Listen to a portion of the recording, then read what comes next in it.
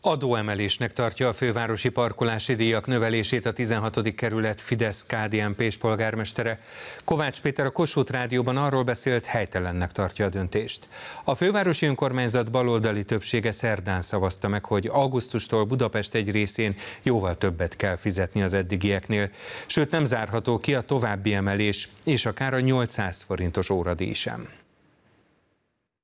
Amikor így jövök, akkor ez szokott előfordulni, hogy, nem tudok megállni. Rendszeresen okoz problémát a fővárosi lakótelepeken, így őrmezőn és a parkolás. Kőszegi Zoltán azt mondja, ritka, hogy elsőre talál szabad helyet, sokszor 10 percekig körözni kell az utcákban. Ebben az utcában, főleg itt az áruház előtt elég nehéz megállni, napközben is, de még hétvégén is. A lakótelepen nem csak most ingyenes a parkolás, itt nincs is fizetős zóna.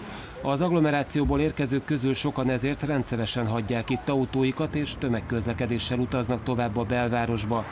Ezek az autók olykor 8-10 óra hosszat is foglalják a helyet a helyi lakosoktól. Katasztrofális a parkolási helyzet, nap mint nap találkozok, akik itt laknak és jönnek haza, és órákig köröznek, mert nem tudnak olállni, mert a helyhez képest sokkal több autó van, mint amennyi lehetőség. A helyzet valószínűleg még rosszabb lesz augusztustól, amikortól drágul a fővárosi parkolás. A helyiek arra számítanak, hogy még többen próbálnak majd az ingyenes övezetben várakozni. Így, hogyha ha visszaállítják ezt a, ezt a rendszert, és, és valószínűleg meg, meg fogják emelni úgymond a, a kvótákat, akkor több mint valószínű, hogy még sűrűbb lesz itt a parkolás, még többen bepróbálkozik majd, és valószínűleg ezt a parkolási szabálytalanságok száma is nőni fog. Az előterjesztés három pontból áll, kérem szavazzanak az A fővárosi közgyűlés baloldali többsége szerdán szavazta meg a jelentős emeléseket. Ezek értelmében a belvárosban a Nagykörúttól a Dráva utcáig sokáig mindenhol a legmagasabb 525 forintos tarifát kell majd fizetni. Ugyancsak drágább lesz a parkolás a 12. kerület egy részén is, ahol 440 forintot fizet majd óránként minden autós, és drasztikusan emelkedik a tarifa a második kerület egy részén is, ahol az eddigi dupláját 350 forintot kell fizetni. Emellett Karácsony Gergely korábbi kerületében Zuglóban 175 forintról 265-re nőnek a díjak a Nagy Lajos Király út, Mexikói út közötti sávban. A DK-s Niedermüller Péter vezette Erzsébet városban még ennél is drágább lehet a parkolás. A polgármester azt sem tartja elképzelhetetlennek, hogy akár 7-800 forintot kelljen fizetni óránként. Ez az intézkedés a koronavírus járvány után még éppen csak talpra álló kereskedelemre és a szolgáltató szektorra is negatív hatással lehet. A 800 forintot én egy kicsit túlzónak tartom, ugyanis az itt élők megkapják az engedélyeket arról, hogy ingyen megálljanak, viszont a környező boltoknak, vendéglátóhelyeknek elég nagy kiesés lesz, hogy valószínűleg nem fognak jönni emiatt, mert nem fognak tudni megállni, azaz nem erre fogják költeni azt a pénzt, amit nál, itt elköltenének. Erzsébet városban ráadásul sajtóhírek szerint Niedermüller Péter azt tervezi, hogy az eddigi este 8 helyet egészen 11 óráig terjeszti ki a fizetős időszakot.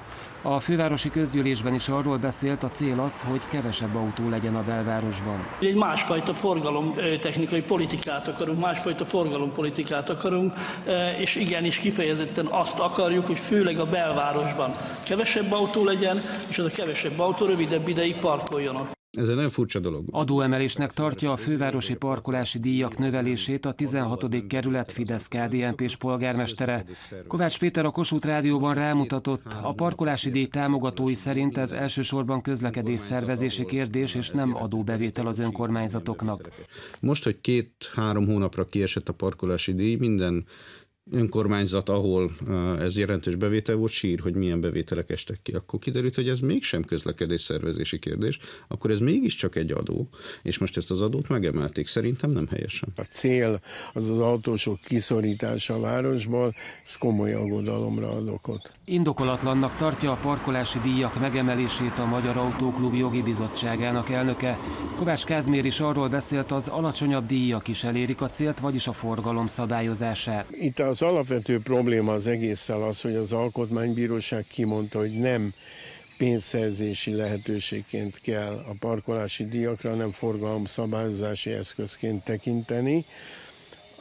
Nem tudok arról, hogy 7-800 forintál alacsonyabb parkolási díjak mellett sokan csak azért parkolnának, mert eh, nincs arra szükség. Kovács Kázmér hozzátette, a Magyar Autóklubban nem egyeztetett a főváros sem az óráról órára dráguló, vagyis sávos parkolási rendszer bevezetéséről, sem a tarifa megemeléséről.